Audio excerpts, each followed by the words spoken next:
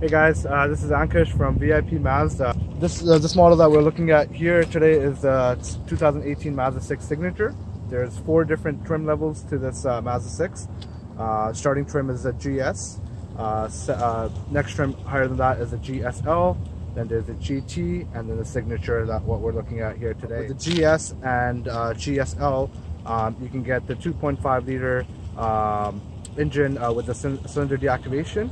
Um, and uh, with the GSL, you have the option of getting the turbo engine as well. So definitely, uh, if you're looking for extra horsepower, you want to go with a GSL with a turbo or a GT or a Signature.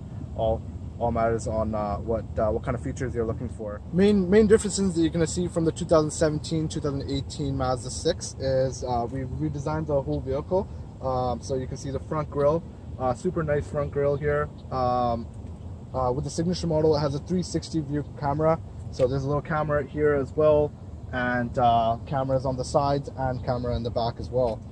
The 2018 Mazda 6, uh, even the starting model uh, will come with blind spot monitoring, um, rear crossing traffic alert, and uh, smart city braking as well. So uh, even the starting model, you're going to get a lot of safety features. Um, but if you want any more safety features, you can go into the GSL and um, and you'll have the lane departure system, forward obstruction warning, and a whole list of safety features.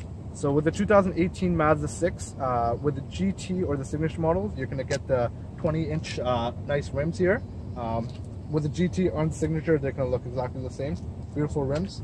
Uh, with the 2018 Mazda 6, uh, with, uh, compared to 2017, uh, you're to see the, the back bumper is redesigned as well, and the tailpipes are much bigger.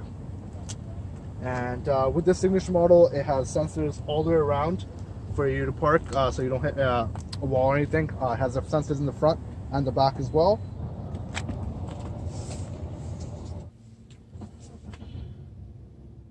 So the 2018 Mazda 6 signature model uh, we're sitting in right now has the Napa leather, uh, has suede, and the Sen wood. It definitely makes it look nice and classy. Uh, has a black interior roof here as well, all the way around. Um, this is uh, the signature model, so it's top of the line. So uh, you have all the bells and whistles. Uh, new to our Mazda product is uh, our ventilated seats. Um, this is the first time we've uh, put ventilated seats in the Mazda. And uh, one big difference as well um, with uh, from the 2017 to the 2018 Mazda 6 is the heads-up display. Before there was a little flip-up screen that used to come up. Now it's actually a heads-up display, so that comes right through the windshield. So it's very neat to have. Um, all your safety features will come up on there, your speed, um, and all that stuff, uh, blind spot monitoring, everything will be on there. So with the 2018 Mazda 6, new feature we got in here as well is uh, auto hold.